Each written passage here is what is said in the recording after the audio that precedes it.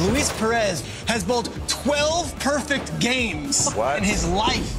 And he spent his entire teenage life traveling the West Coast, competing in youth tournaments. Luis Perez was one of the best youth bowlers in the entire country.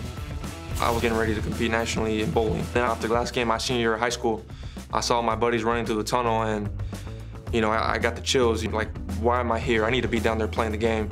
I went to YouTube and I started YouTubing how to play quarterback. So li little by little, I just kept improving, kept learning the game. Um, again, I, I, didn't know much about fronts, coverages. I just knew I can throw a spiral. That, that's about it. A little-known player out of Texas A&M Commerce named Luis Perez. Now, he was the Harlan Hill Trophy winner as Division II's best college football player with over 70 touchdowns in his career. After uh, playing Division II and winning a national title, I signed as an undrafted free agent uh, to the Rams. My rookie year going there, going from a Division II playbook going to an NFL playbook, and, and with, what Sean McVay does with his offense is very complex, and Coach Zac Taylor spent hours and hours off of his time just to help me.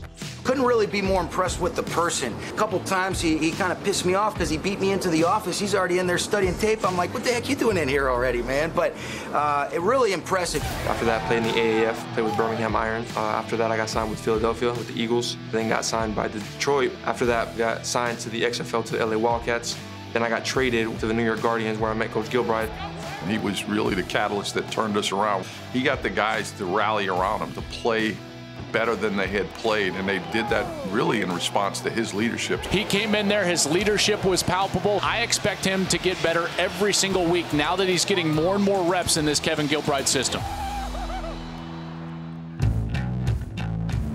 In bowling. You know, I know he's rolled a couple of perfect games and everything else. So, I mean, he's just a winner. Everything about him is whatever I have to do to put my team in the position where we got a chance to win and be successful, he's going to do that.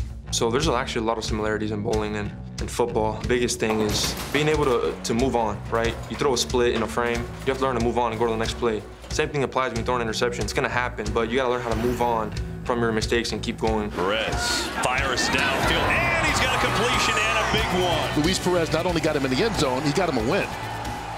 I'm excited to play football. I love the game. This is a great opportunity, and I'm just very thankful I'm here in this position.